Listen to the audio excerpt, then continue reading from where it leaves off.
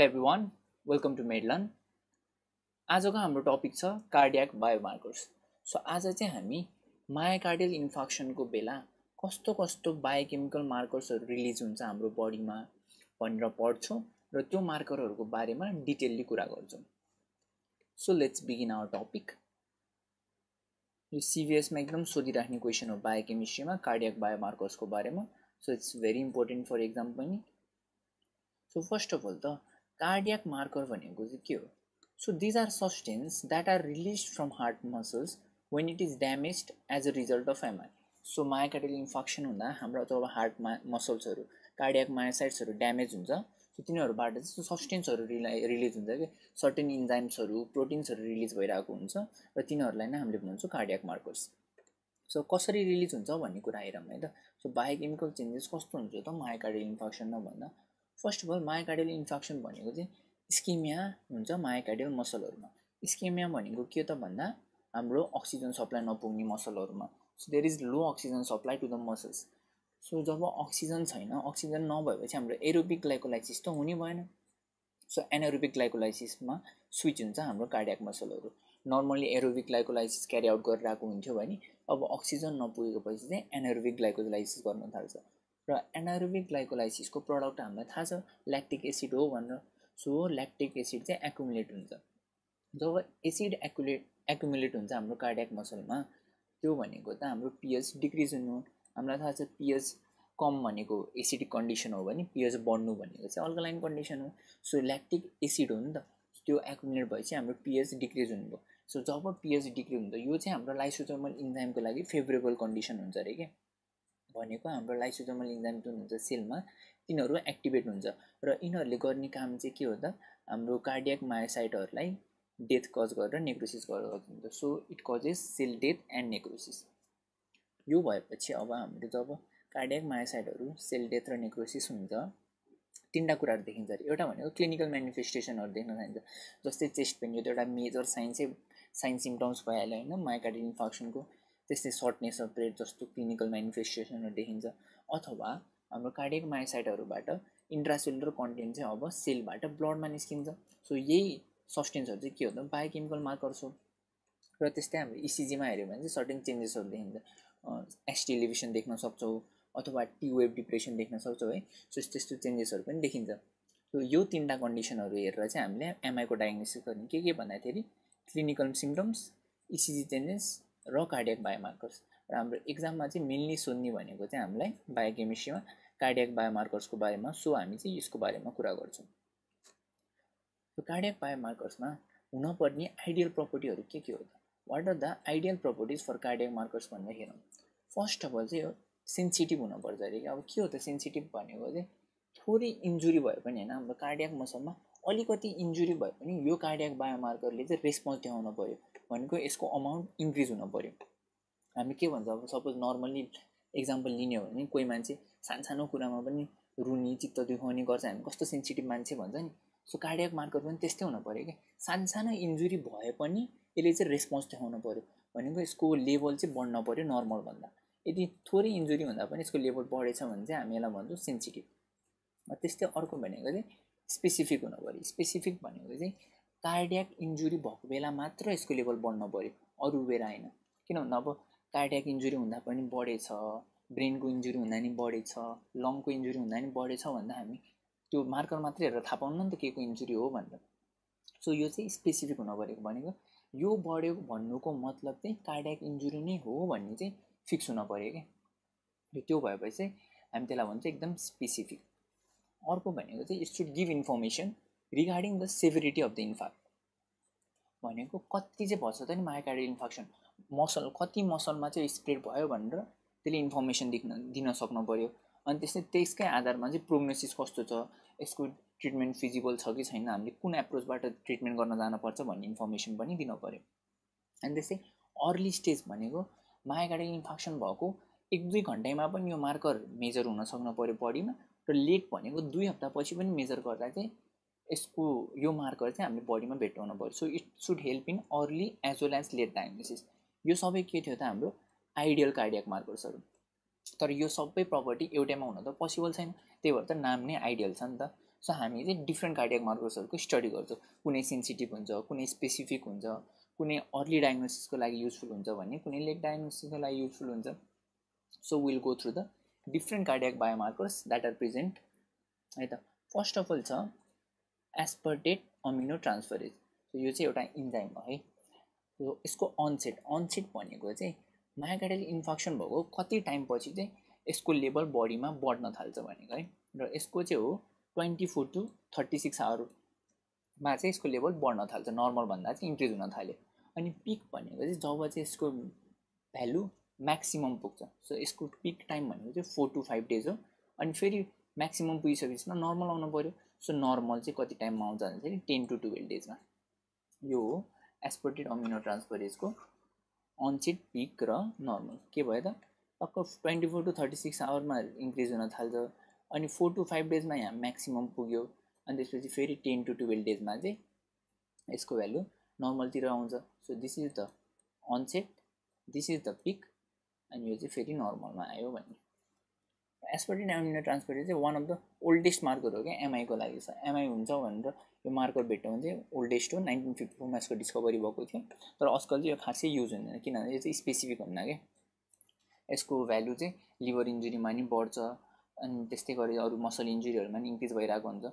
So this is not specific to cardiac injury thus it is not use हाम्रो second marker छ lactate डिहाइड्रोजेनेज यो पनि एउटा enzyme हो।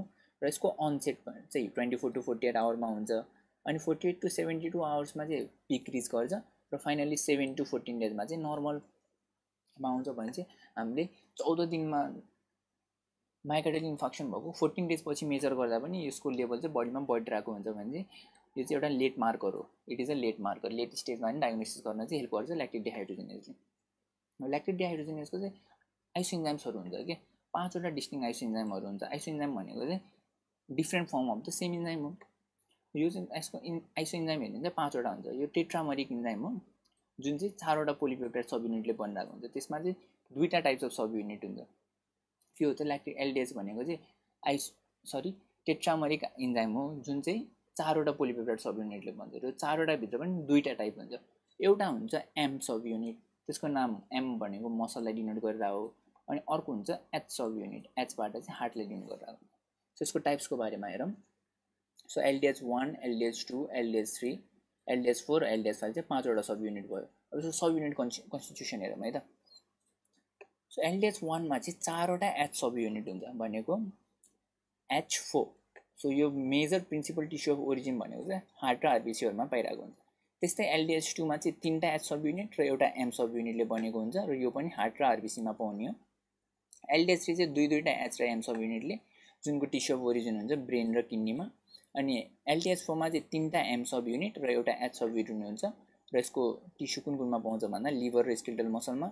र फाइनली एलडिएच फाइभमा चाहिँ चारवटा M sub unit H sub unit चाहिँ हुन्न यसमा। सो यो पाउँछ स्किल्टल मसल र लिभरमा। यो भरिमा हामीलाई माइकार्डियल इन्फेक्सनमा इम्पोर्टेन्ट भनेको चाहिँ एलडिएच वान र एलडिएच टू छ कि? किनभने यो हार्टमा पाउने एलडिएच वान र एलडिएच टू हो र टू हो नि त। सो यसको कन्सन्ट्रेसन हेर्ने भने नर्मल्ली नर्मल हेल्दी इन्डिभिजुअलमा एलडिएच वानको कन्सन्ट्रेसन ट्वेन्टी फाइभ पर्सेन्ट सिरममा हुन्छ भने एलडिएच टूको चाहिँ थर्टी फाइभ पर्सेन्ट हुन्छ। सो भने चाहिँ हामीले देखिरहेको छौँ होइन एलडिएच टू चाहिँ बढी हुने रहेछ हेल्दी इन्डिभिजुअलमा तर माइकाइडल इन्फेक्सन भएको पेसेन्टमा चाहिँ के हुन्छ भन्दाखेरि एलडिएच वानको लेभल बढ्छ कि एलडिएच टूको भन्दा एलडिएच वानको लेभल बढेर चाहिँ LDH one is to LDH टूको ratio greater than हुन्छ। सो यदि हामीले बडीमा एलडिएच वानको लेभल बढी पाउँछौँ भने चाहिँ त्यो चाहिँ माइकार्डियल इन्फेक्सनको डायग्नोसिस हुनसक्छ अब यहाँ हेरौँ। इन हेल्दी इन्डिभिजुअल के भन्दा मैले भनिहालेँ एलडिएच टू चाहिँ ग्रेटर हुन्छ एलडिएच वानभन्दा तर माइकार्डियल इन्फेक्सनमा चाहिँ LDH one is to LDH टूको ratio greater than one हुन्छ। So this is about the lactate dehydrogenase enzyme जसको पाँचवटा एपिसोड फर्म हुन्छ। नर्मल्ली एलडिएच टू चाहिँ बडी हुन्छ भने बडीमा माइग्रेन इन्फेक्सन भएको पेसेन्टमा चाहिँ एलडिएच वानको लेभल बढेको छ। अनि यो चाहिँ एउटा लेट मार्कर हो किन भन्दा चाहिँ हामी लेट स्टेजसम्म पनि यसको लेभल चाहिँ इन्क्रिज भइरहेको हुन्छ। र थर्ड मार्कर छ हामीसँग creatine phosphokinase.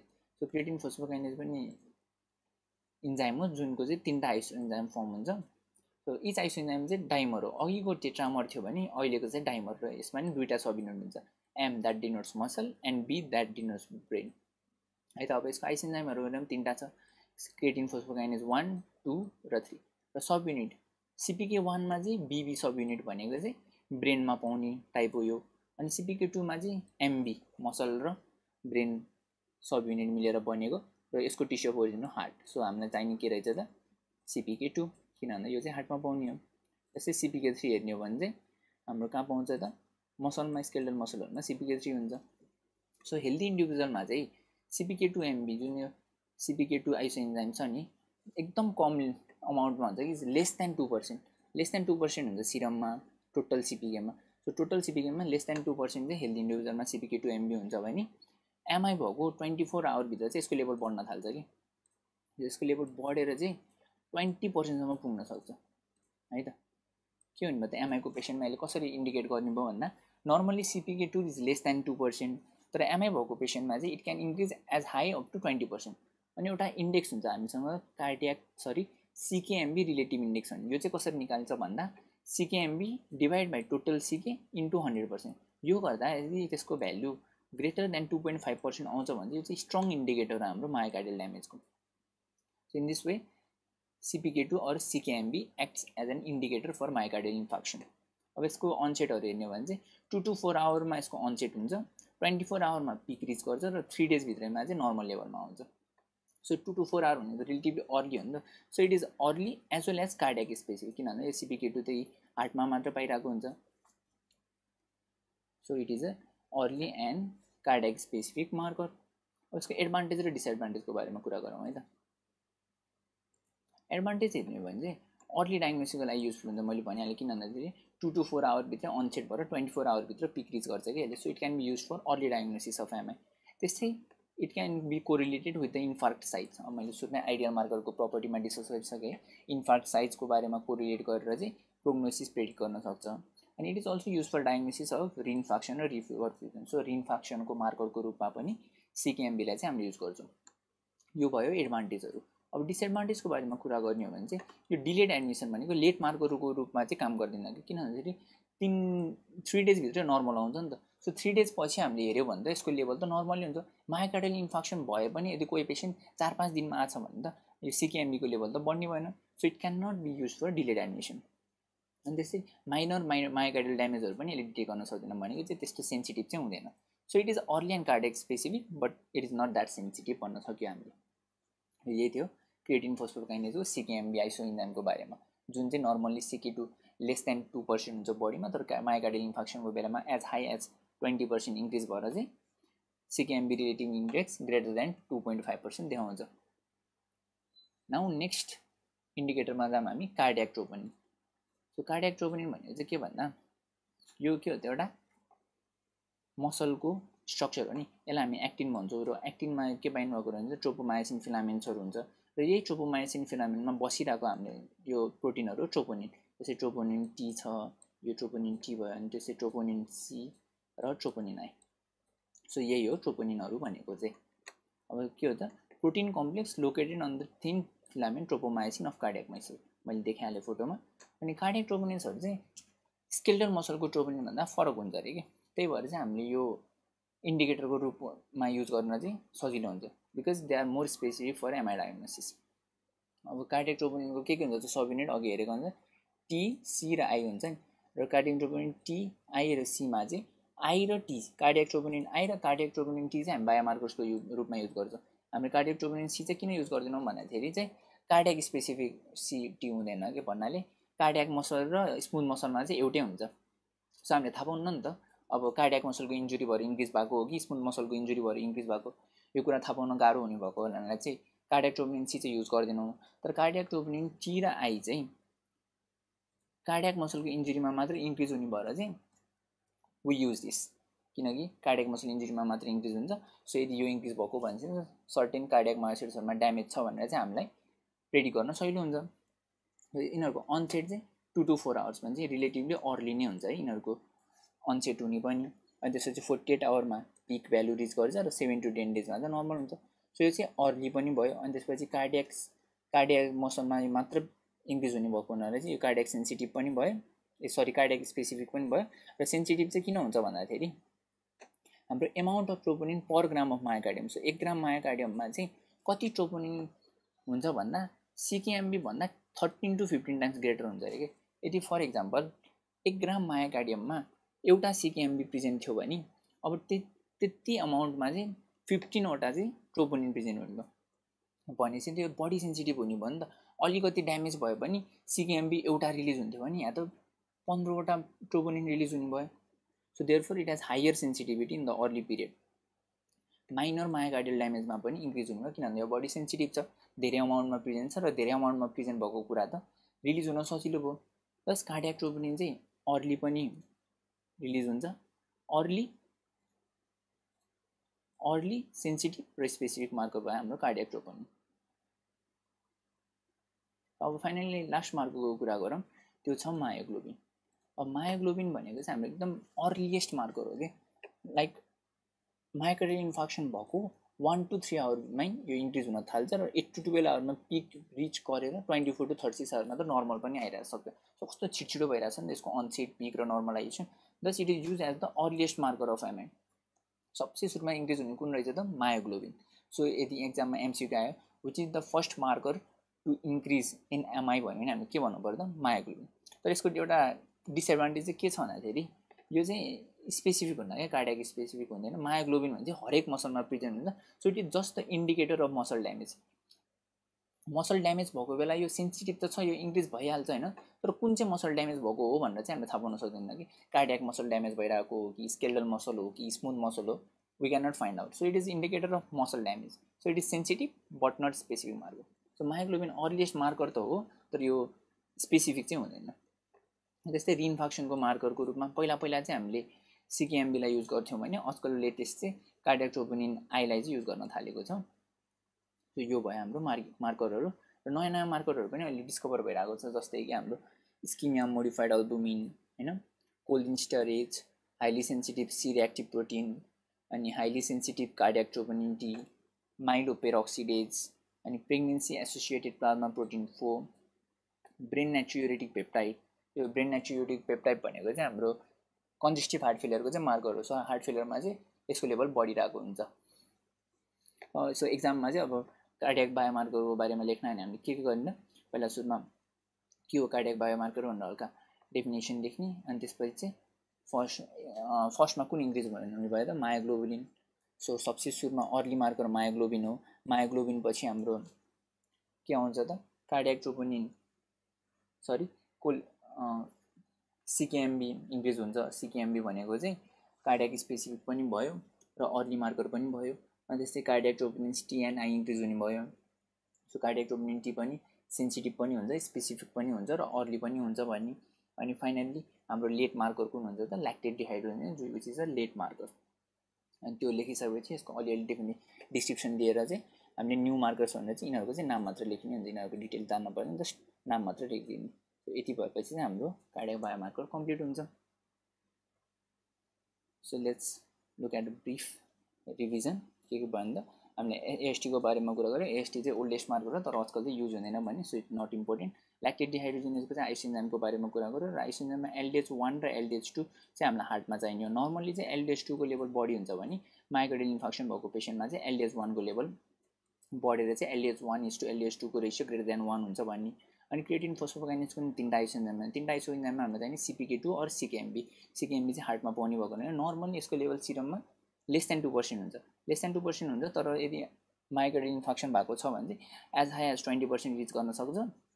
र यसको सिकेएमबी रिलेटिभ इन्डेक्स चाहिँ greater than two point five percent हुन्छ which is an indicator of myocardial damage अनि त्यस्तै अर्को इन्डिकेटर चाहिँ कार्डियाक्ट्रोबोनिन जुन चाहिँ टिआइसी हुन्छ कार्डियाक्ट्रोबोनिन तर टी र आई चाहिँ कार्डियाक स्पेसिफिक हुन्छ भने कार्डियाक्ट्रोबोनिन सी चाहिँ कार्डियाक मसल र स्मुथ मसलमा एउटै हुने भएको अरे वी डोन्ट युज है कार्डियक टोमिनिटी राई चाहिँ कार्डियक स्पेसिफिक हुन्छ अर्ली पनि हुन्छ र सेन्सिटिभ पनि हुन्छ. सेन्सिटिभ किन हुन्छ भन्दा चाहिँ वान ग्राम माइगार्डियनमा चाहिँ thirteen to fifteen times greater amount हुन्छ सिकेएमबी भन्दा. अनि मायाग्लोबिन भनेको त अर्लिएस्ट मार्कर भइहाल्यो। सेन्सिटिभ हुन्छ तर स्पेसिफिक चाहिँ हुँदैन। So this is it for the cardiac biomarkers I hope this video is helpful for you thank you and have a wonderful day